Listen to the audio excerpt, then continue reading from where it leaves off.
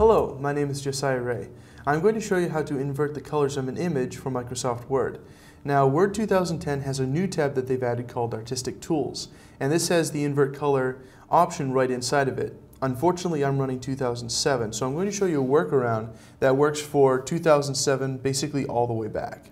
So here I am on my desktop, and I've got this this uh, folder open, and this is the picture that I want to insert into Word and Invert. It's my, my headshot from my professional profile.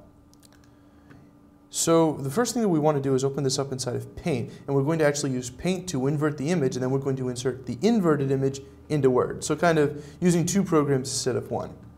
So let's come to the Start menu and type Paint. And I'm going to just drag this image right into it to open it up. And it's uh, quite a large image, so I'm going to zoom it out.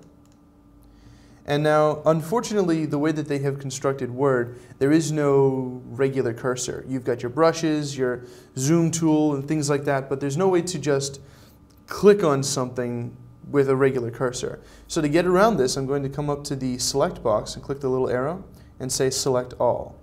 Now we've got the uh, move icon as though we had just clicked on and selected it. And we're going to right click on the image and say invert color.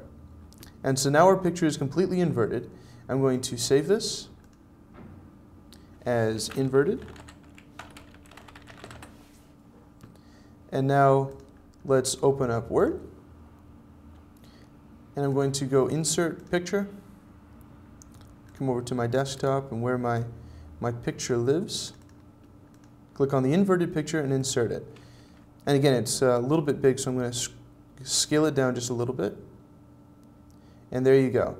We have an inverted image inside of Word. I hope you've enjoyed this video on how to invert colors for Word. If you have any other questions, please email me at josiah at jraystudios.com. I'm Josiah Rea.